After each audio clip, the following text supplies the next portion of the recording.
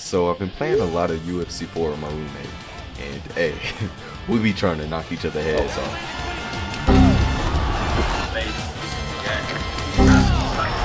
Hey, and goofing off with him and running from our responsibilities, I had a realization.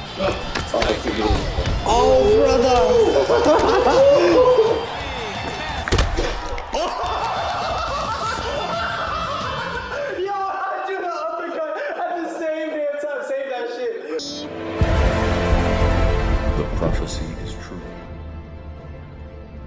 What is the fundamental difference between UFC and traditional fighting games?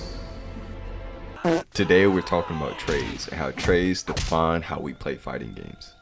You see, in real life, if someone swings a slow but powerful haymaker punch and you hit them with a jab, their momentum will carry through and you will still get hit by them. However, on the other hand, if you throw a haymaker punch also, you have the same risk of getting hit yourself, but you at least have the potential of knocking them out and ending the fight. So what's the point in throwing a jab if there's a high risk of getting clocked for it? This risk versus reward is why sixth grade fights in the bathroom consists of spamming haymakers and praying for a knockdown for additional poison damage. to fight some nigga in the bathroom, no homo, we said slipping on rock semen. However, in traditional fighting games, if your opponent winds up a haymaker or a heavy punch and you tap them with a fast light punch, you'll actually get a full combo.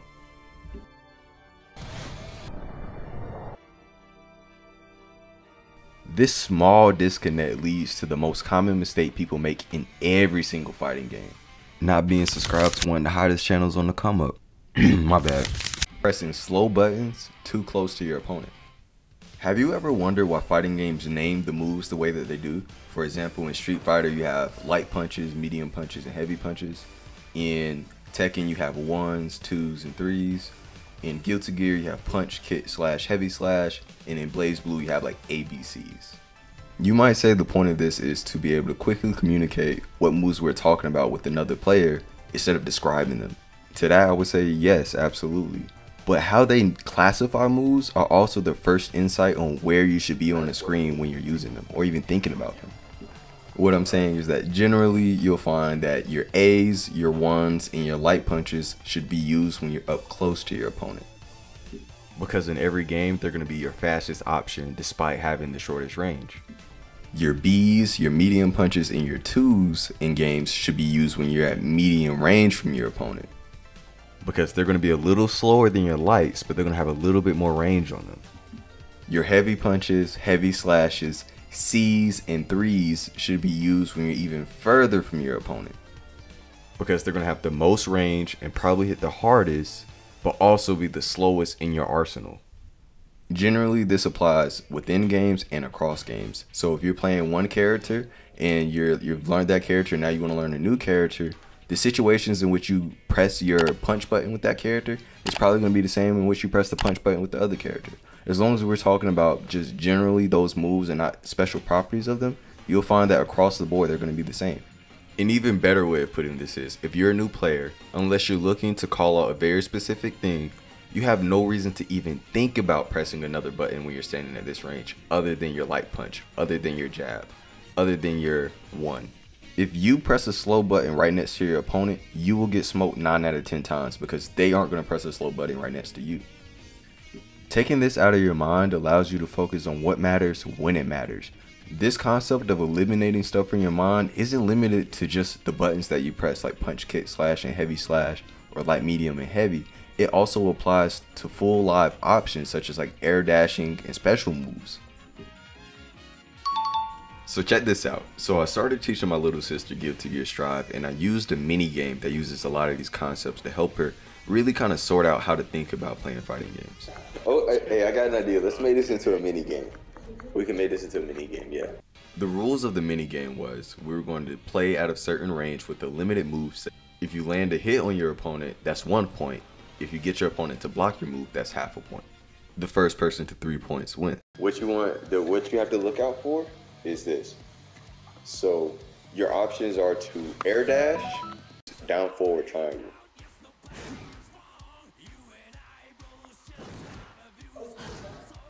Well, how about it? How about no, down forward triangle? Down forward triangle. Yeah. If you think I'm gonna air dash, you know what you gotta press? Forward square. That's the that's the anti-air. Forward. Yeah. So if I if I do this, you want to press forward square. So one, two, three. You see what happens? Anything for you you can air dash, go you go for air dash. I can do that to you also. But the key is if I gun flame, you know what you gotta do? You gotta air dash over it. Like, I want you to do down forward triangle. I can do that to you. That's what the air dash is for. Round three one. points. First person to three points win. Fight! Alright. Alright, that's no point. You should have attacked me. You would have got a, you got half a point. Alright, reset. Ready? Go. That's one point for me. Just reset, reset, reset. Alright, ready? Go. Uh, yeah, that's half a point for me because you had to block. So that's one and a half points.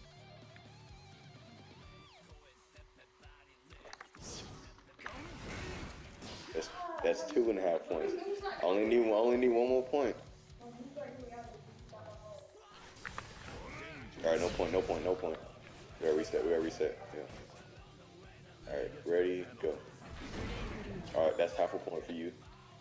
So half a point to two and a half. Ready, go. All right, it's my I won. But but you see how we did points? Normally, instead of points, it would be a combo, and then whoever has more points win. So there's three main takeaways from this mini game. First, that in fighting games, there's two modes you're going to be operating in. You're going to be operating in a proactive mode and a reactive mode. The proactive mode is when you're aggressively attacking your opponent or attacking the space. This is when you're going first in this neutral situation. The reactive mode is when you're waiting for your opponent to do something so you can respond second and respond with the appropriate response to punish them. The important thing to realize is that because you have these two distinct modes, you can't do them both at the same time. If you decide to be proactive and do something, your character is not in a position to react to whatever your opponent does. And if you're being reactive, then your opponent doesn't have to deal with your pressure of you doing something proactive. Great players are going to quickly switch between the two, but the important thing to realize is that there is a switch that's happening there, and that being able to recognize which mode that you're in and which mode your opponent in becomes very important. The second thing that this minigame teaches us is that anticipation is more important than reaction times. Everything in the game is so much easier to deal with when you're expecting it to come or you're looking out for it. The last thing this minigame teaches you is respect and risk, and the fact that deciding to do an action without thinking about it will put you in harm's way if your opponent knows the counter to it.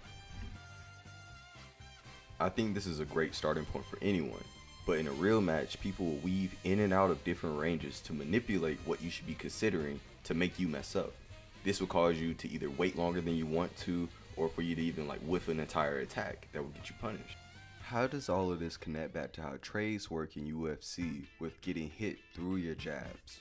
Like in traditional fighting games, straight punches, which are like your twos, will interrupt an attack, but a jab, which is like your one or your A, will not. Why does that happen? First, let's look at jabs. They break the rules of traditional moves in a case where it has good range and good speed. However, jabs are naturally balanced by lacking power, which is why it can't break or interrupt someone. This means that jabs or ones in real life are great initiators, not interrupters. This is because jabs are too fast to react to and have a very quick recovery, making them safe to whip. So let's look at when would you use the jab. They are meant for going first when you catch your opponent being defensive or reactive, looking for your threatening options. If you use your punch or your jab while your opponent is being proactive or aggressive, you risk getting hit through your jab. Because your initiation tool and your interruption tool are tied to different moves, you have to be a little more intentional about this decision to go for them in UFC in comparison to other fighting games because any button you press will interrupt whatever they do. So revisiting the mini game I was using to teach my sister, she lost the first round by being too proactive. She was trying to use the horizontal projectile move, which was giving me an opportunity to counterattack her. After that first round, we went to play again. Ready? Go.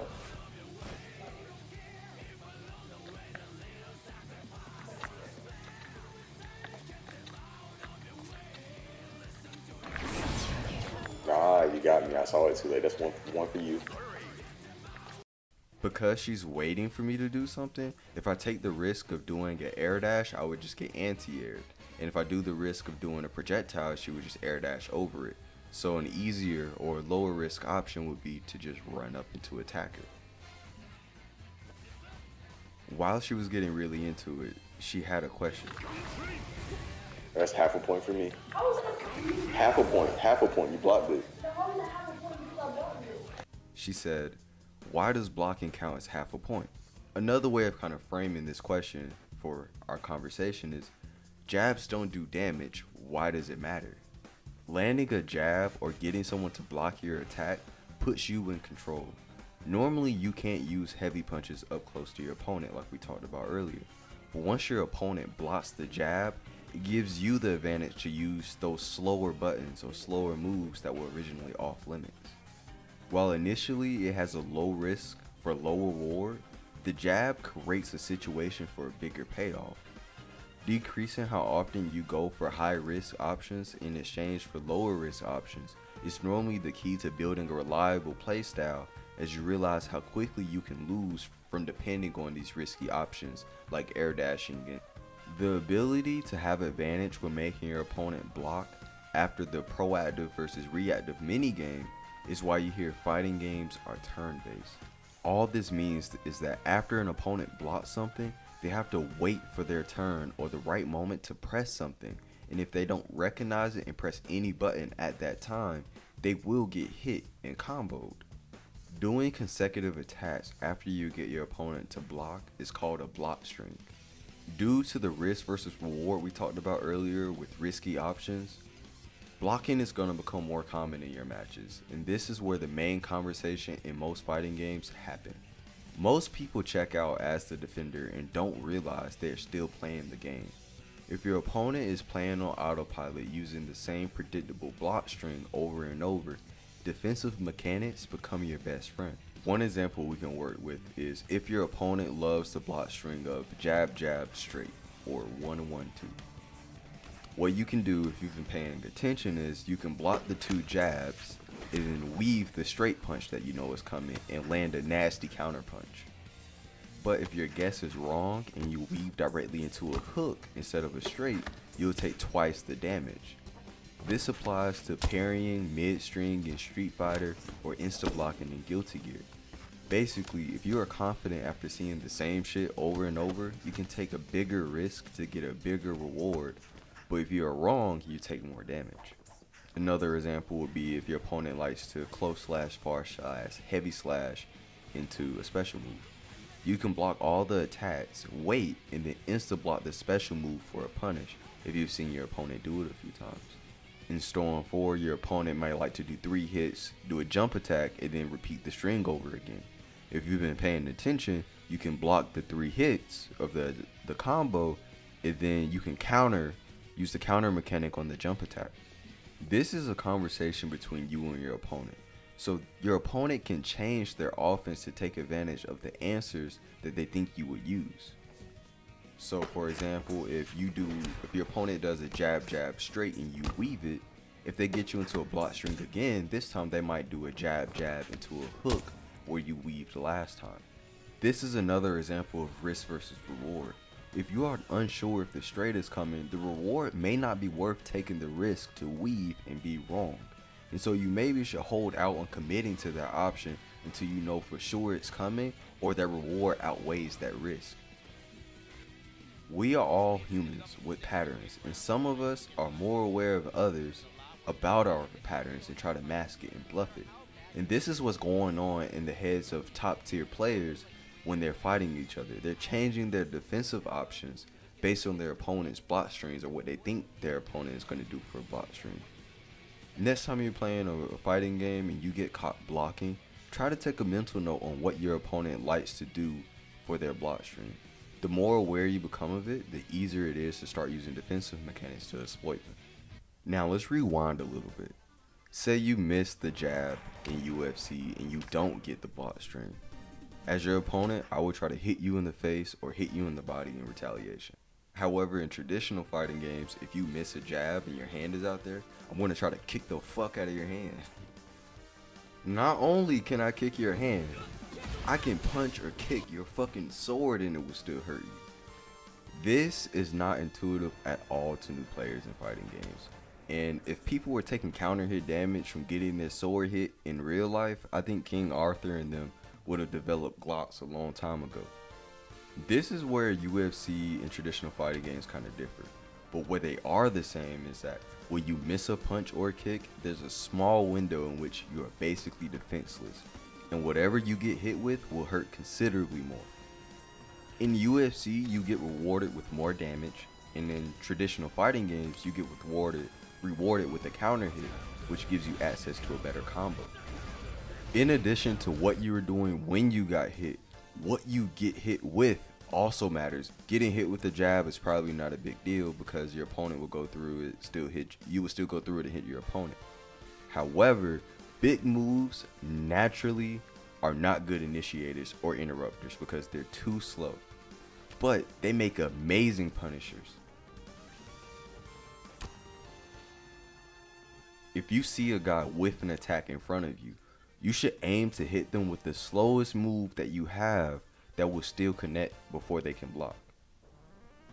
Landing a counter hit with a slow move up close is normally rewarded with even more dramatic rewards, like an extra slowdown or brutality in Mortal Kombat, because that's not supposed to happen.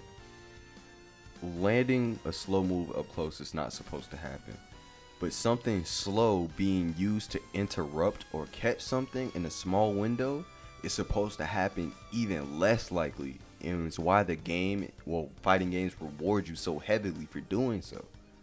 Fighting games are hard but you don't need a phd to get started.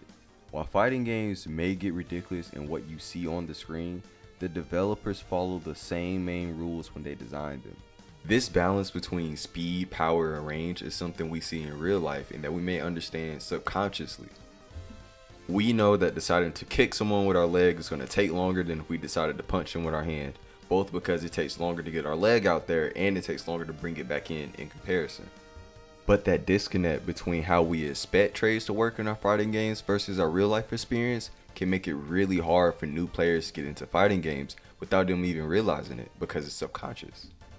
The same way you know to use cover in every first person shooter you play don't press slow buttons right next to your opponent, and look out for conversations in block strings.